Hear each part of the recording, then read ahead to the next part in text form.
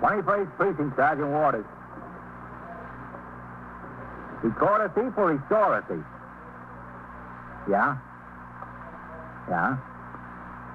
Well, where is this? Where are they holding him? Oh, it's a woman. Where has he got her? Yeah? You're in the muster room at the 21st Precinct, the nerve center. A call is coming through. You will follow the action taken pursuant to that call from this minute until the final report is written in the 124 room at the 21st Precinct. Yes, sir. I'll send the officers right over there. That's right. Yeah. You stand out on the sidewalk and show them where to go. All right. Okay. 21st Precinct. It's just lines on a map of the city of New York. Most of the 173,000 people wedged into the nine tenths of a square mile between Fifth Avenue and the East River wouldn't know if you asked them that they lived or worked in the 21st. Whether they know it or not, the security of their homes, their persons, and their property is the job of the men of the 21st Precinct. The 21st, 160 patrolmen, 11 sergeants, and four lieutenants, of whom I'm the boss. My name is Kennelly, Frank Kennelly. I'm captain in command of the 21st. I was working my day tour, 8 a.m. to 6 p.m. After I had turned out the platoon and attended to other matters in the station house that required my attention, sector car number three came by the house to take me to 84th Street and 5th Avenue, where a large crowd was expected at the reopening ceremonies of a remodeled wing of the Metropolitan Museum of Art. Although the museum itself is in the 22nd or Central Park precinct, three patrolmen from the 21st had been detailed to handle the traffic on Fifth Avenue. On arrival, I determined that the congestion was not nearly as heavy as anticipated, and I returned to the car with the intention of inspecting other conditions in the precinct. During the course of the patrol, we had occasion to drive downtown on 2nd Avenue in the 70s. There, I spotted the sergeant's car double parked at the corner a block ahead. As we approached, I saw a group of pedestrians peering into the window of a small neighborhood drugstore. I instructed the operator of my car to stop. I got out and crossed the sidewalk to the store. Coming through there, please. Coming through. Hello, Captain. Oh, Carol, what do we got? I don't know. The sergeant posted me here, sir. Sergeant? hello, Captain.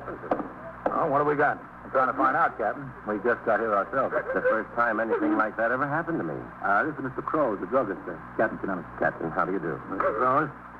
I didn't mean any harm. I really didn't. Oh, we were riding by, Captain. I saw the disturbance on the sidewalk, and we got out to have a look. The nerve of her. He went right into the showcase. He took a hypodermic syringe and a needle. Right into the showcase. I didn't mean any You harm. You didn't mean any harm. You stole my merchandise, didn't you? She comes in here. The telephone rings. I go in back. She thinks I can't see her, but I can. Right in the counter, like she knew just exactly where I keep the hypodermic. Do you knew what she was after.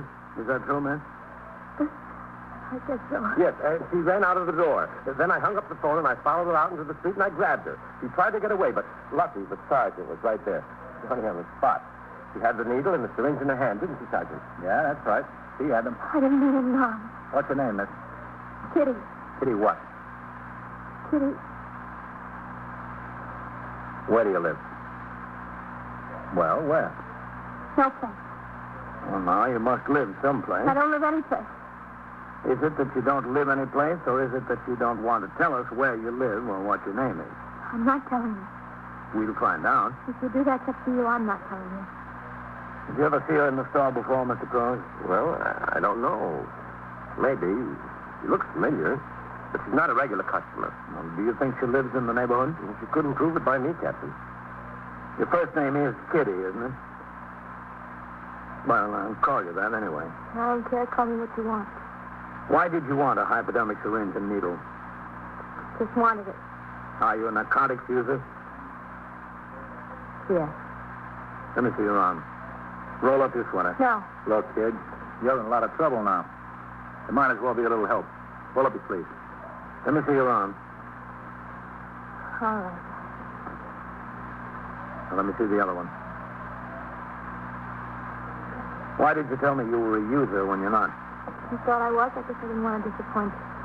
What did you want the needle and syringe for? I just wanted it. You sure must have wanted it. You had to go all the way in back of the counter for it. It's not for you, is it? It is for me. Is it for a friend of yours who's a user? Yes, it's for a friend of mine. Who? It's a friend of mine. Did she have a purse, Sergeant? No, sir, I didn't see any. Did you notice that she was carrying one, Mr. Cruz? I don't remember. Why don't you ask me? I could tell you. I wasn't carrying any purse. I never carried a purse. Well, then you're not very far from home, are you? What difference does that make? I could be a thousand miles away. I still wouldn't carry a purse. I don't like to carry them. How old are you, Kitty? Don't care for purses, that's all. I'm entitled not to carry them, don't you think? How old are you? Nineteen. I've got a pocket in my sweater. That's all I need. I carry the money I want to carry in the pocket. See, I got a dollar and eighty cents. What do I need a purse for? A dollar and eighty cents. Want to count it? You want to count it? It's all there. It's a dollar and eighty cents. Put it back. Well, I guess you better take her on in, Sergeant. Let the detectives figure it out. Yes, sir. Take me in where? Into the station house. I don't want to go. Well, I don't think you have any choice in the matter. Uh, we'll have to take this needle and syringe along for evidence, Mr. Cruz. Well, that's all right. It's all right with me. Uh, will I get them back? The detectives will be around to talk to you. You'll uh, have to appear against them. In court, you mean? Yep. How can I get away from the store in the daytime? It's hard for me to get away. You'll get that straightened out with the detectives. Come on, miss. I don't want to go. Look, honey, don't give us any more trouble now. I don't want to. I can't. You better go along, Kitty. I can't go. I can't. You want me to pick you up and carry you? No. Well, then come on. All right. I'll see you at the station house, Captain. Okay. I don't know, Captain. Okay, pal. Day and age. Customer comes in, you don't know whether they're a thief or a millionaire. Pretty young girl like that. I don't know. Well, you can take one thing for granted, Mr. Crows.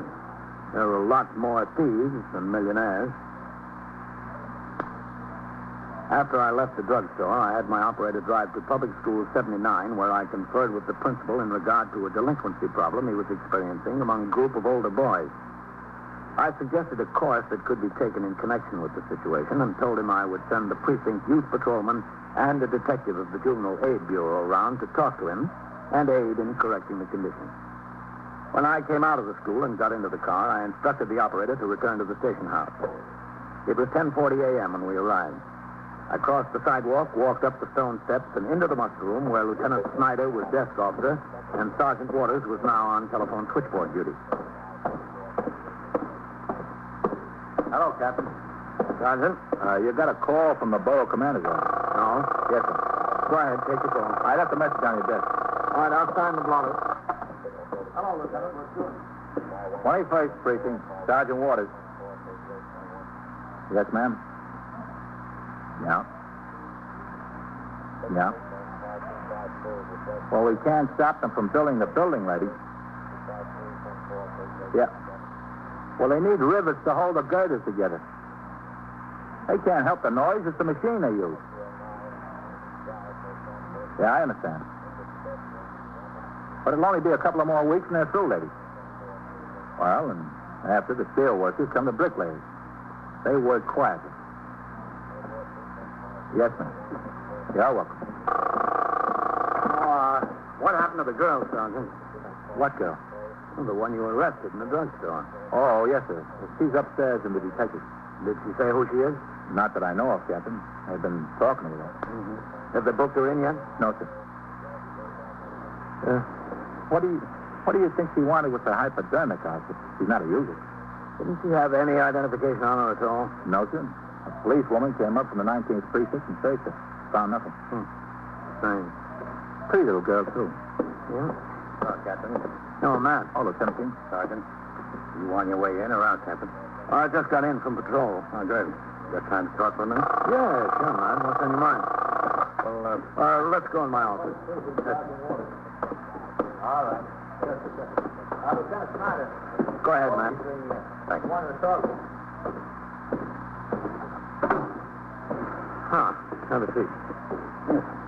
I just want to wash some ink off my hands. That pen we've got out there is like a sieve. hey, uh, you find anything out about that girl with the hypodermic syringe and needle?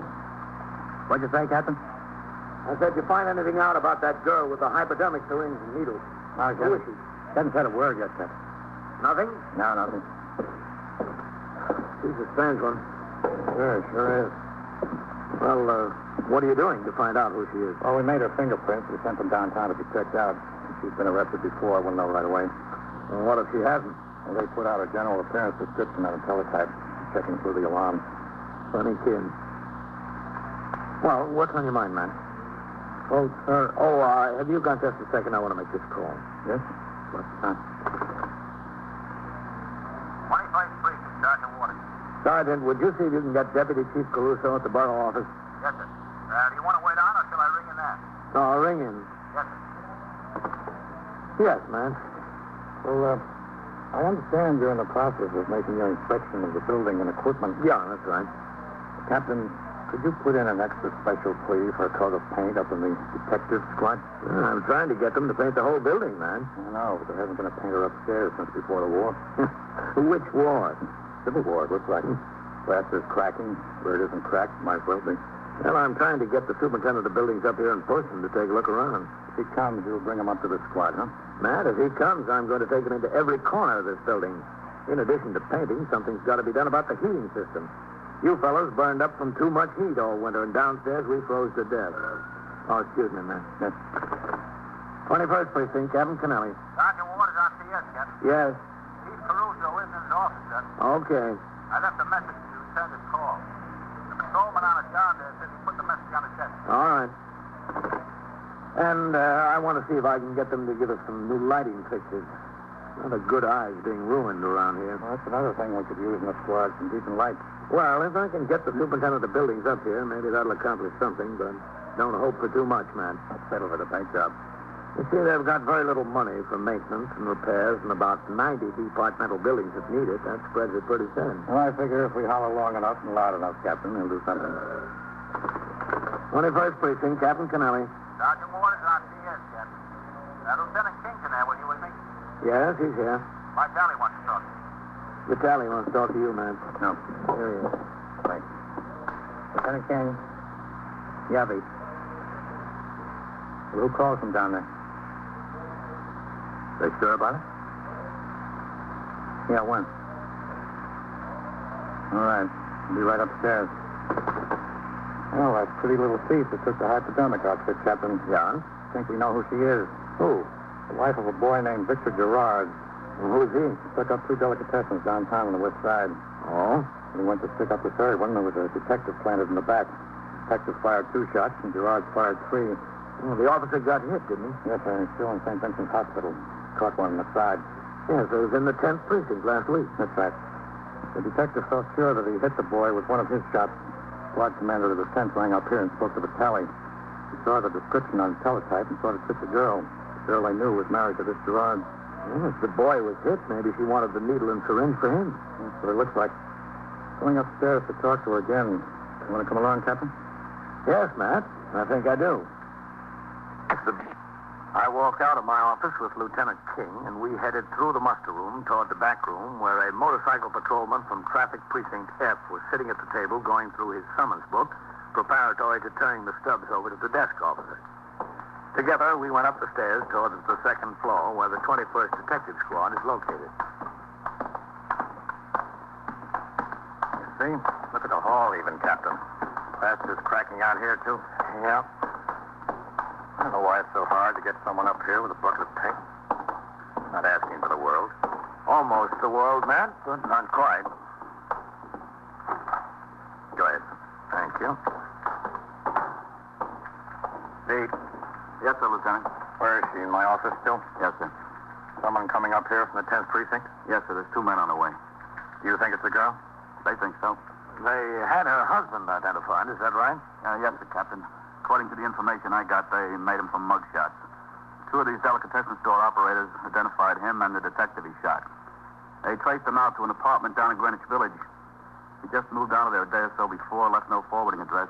None of his friends knew where he went. Mm-hmm. They knew he married this girl named Kitty. Well, then Kitty's her right first name, at least. Yes, sir. They've been watching her parents' apartment. They got a plant there. No one's heard from her. We heard from her. Yes, sir. Well, let's go in and talk to her. Who's in there with her? Goldman and Cassidy, Lieutenant. Good. Okay. Hello, Captain. I guess. Goldman. Hello, Cassidy. Close the door, Pete. Yes, sir.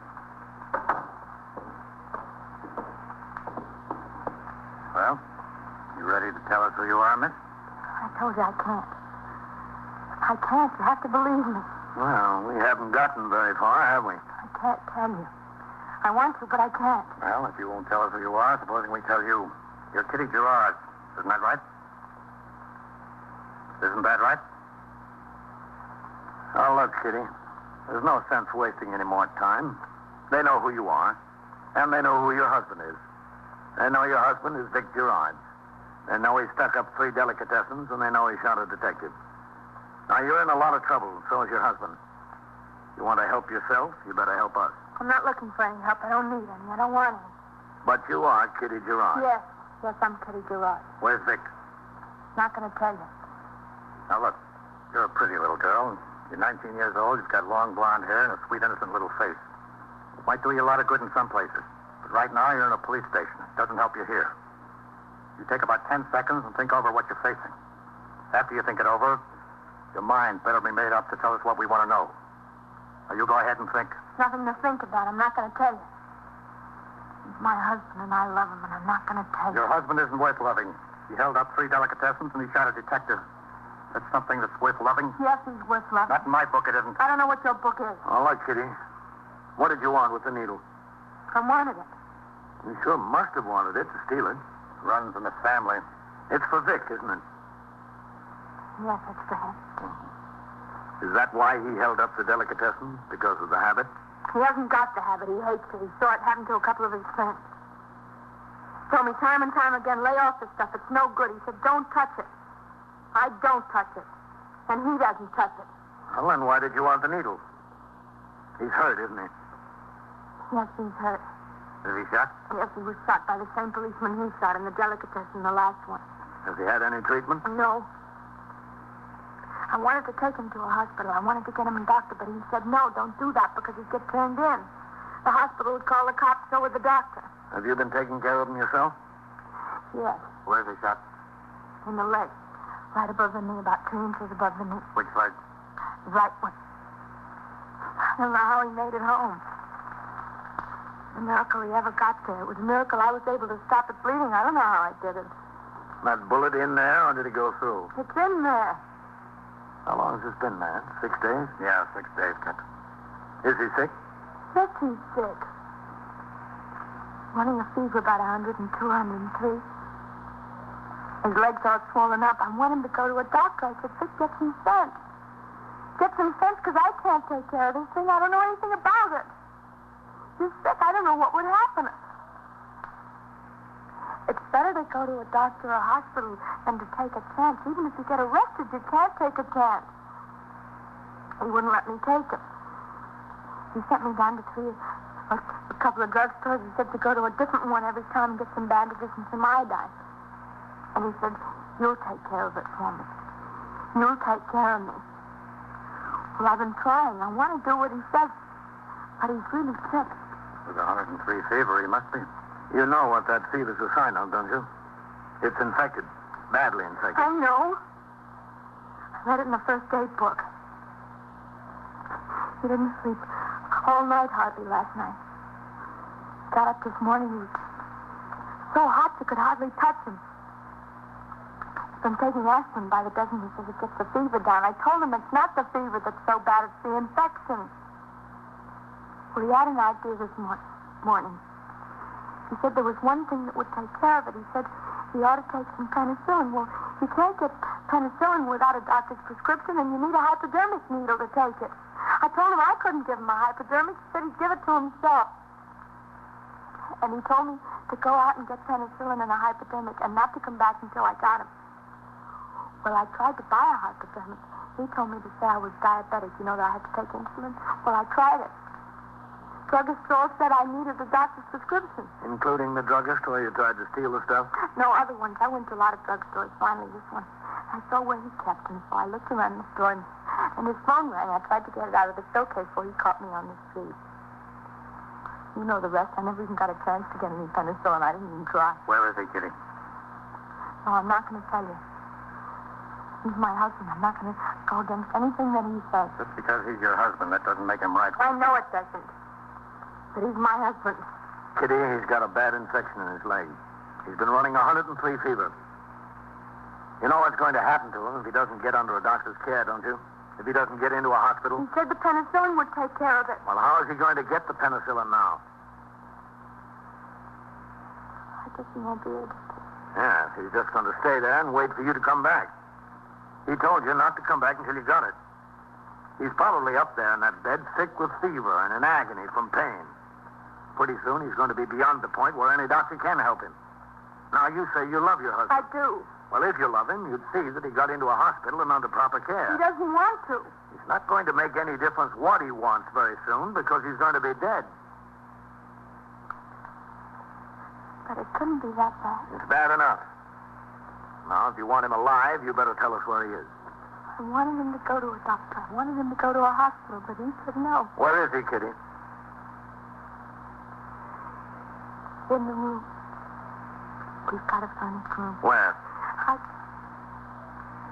He said I should. Where is your room? 742 East 78. Is he there alone? Yes, he's alone. In bed? He was when I left him. Can he get out? He can't walk. Did he have a gun? Yes, he's got a gun. Where does he keep it? Right there next to him on the table. You think he'll use it? No, he won't use it. I'm sure he won't. He's sick. He's sick in bed. He was shot in the leg. Yes, I know. But There's nothing wrong with his hands. The interrogation of Kitty Gerard continued until the arrival of the two detectives from the 10th Squad. In the course of the questioning, a complete description of the room in which she resided with her husband was obtained. Detectives Goldman and Cassidy were sent to the address with instructions to wait there on a plan.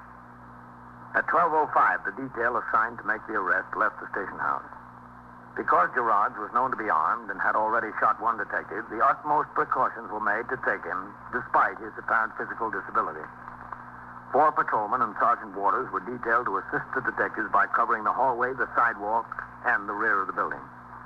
It was decided to take Kitty along in the hope that the element of surprise could be employed and the fugitive apprehended without further shooting.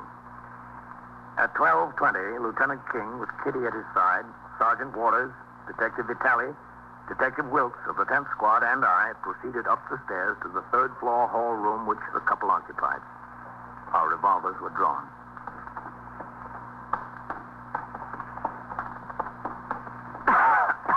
One more slide up. Yes, I know.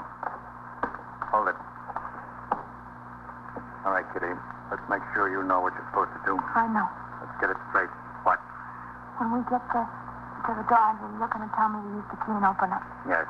After I get these officers placed where I want them. If Dick says anything, I'm supposed to answer. That's right. I'm supposed to act natural. You won't hurt him, will you? Please don't hurt him. It's up to him. It's up to you. All right, let's go.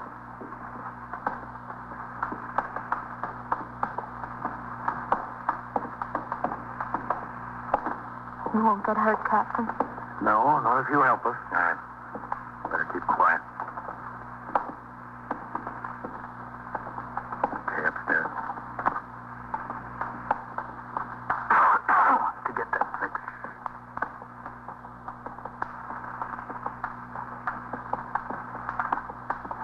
Okay.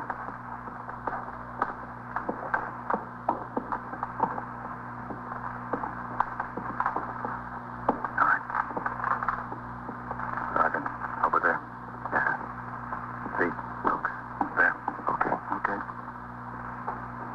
You gonna stay with me, Captain? Yep. All right, Kitty. Use the key.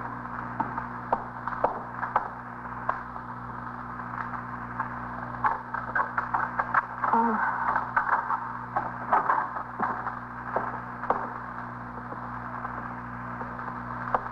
Kitty? yes, Rick, it's me. How do you feel? Lousy. You get this stuff? Okay, let's go. Out of the way, Kitty. What is...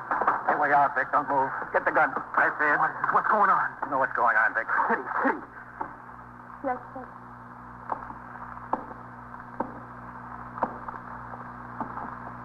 I'm right here. You went and got him, huh? Is that what you do to me? You went and got him. All right, let's see if they Keep away from me. Get those hands down at your side. Get them down there. Yeah. Sounds better. Yeah, he's burning up, all right. Well, what'd you expect? I got a bullet in my leg. What'd you expect me to be cool as a cucumber? Sergeant, Yes, sir. you better go down and ring in for an ambulance. Yes, sir, Captain. Right away. Who's got the gun? Wilkes. Wilkes, bring the gun over here. Yes, sir, Lieutenant. Here you are. Thanks. What did you expect to accomplish with this, Vic? No, don't. Shoot another cop? What do you want me to do? The cop was shooting at me. I don't know what I wanted you to do. Kitty. Yeah. Sally, what'd you do it for? Please, Take a look around the place, will you? Yes. What'd you do it for? What'd you turn me in? I was arrested in the drugstore, Vic. I was arrested taking a needle. Ah, you'd be so stupid as to get caught. I ask you to get a little thing like a hypodermic needle, some penicillin, you get caught. How could you be so dumb? All right, all right. Take it easy. How could I take it easy? How could you be so dumb when you answer me that? Couldn't help it, Vic. Want you to do something for me, you mess things up. You just leave it to you, huh? You want to show us that leg, Vic? No, I don't want to show you guys anything. Just go away and leave me alone. I'm sick. I'm dying. They're going to take you to the hospital, Vic. You'll be all right. Yeah, sure, I'll be all right. In ten years, I'll be perfect. I'm sorry I tried. I really tried. Yeah. I'll bet you tried. She tried. I don't know why, but she did.